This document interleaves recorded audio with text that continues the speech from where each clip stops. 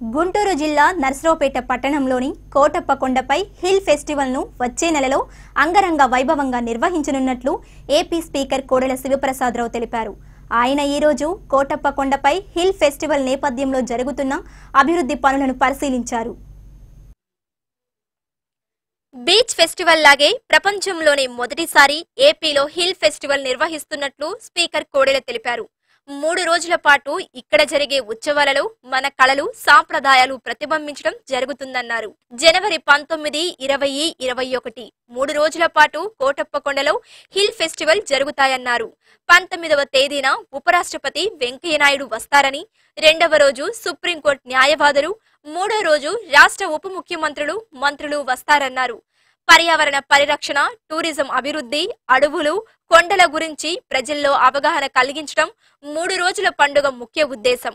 కోటప్పకొండ చూస్తే పచ్చదనంపై ప్రజలకు అవగాహన వస్తుందన్నారు. నీరు లేని కోటప్పకొండపై అడవిని అభివృద్ధి చేశామన్నారు. కోటప్పకొండ అభివృద్ధి కోసం పద్దెనిమిది సంవత్సరాలుగా కష్టపడుతున్నామని వివరించారు. కోటప్ప కొండలో ఫుడ్ ఫెస్టివల్ కల్చరల్ ప్రోగ్రామ్స్ డ్వాక్రా మెప్మా స్టాల్స్ సినిమా జానపద శాస్త్రీయ సంగీతం పద్యాలు ఎడ్ల పందాలు ఉంటాయని ప్రత్యేకంగా సినీ సంగీత గాయకులను తీసుకువస్తున్నామని చెప్పారు.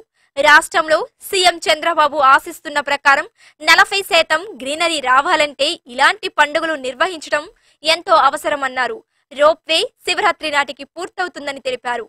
కోటప్ప కొండకు గతంలో ఎనిమిది లక్షలు ఉన్న ఆదాయం ఇప్పుడు పన్నెండు కోట్లకు చేరుకుందన్నారు. అలాగే గతంలో జనసంచారం లేని కోటప్పకొండ ప్రాంతం నేడు రద్దీగా మారిందన్నారు.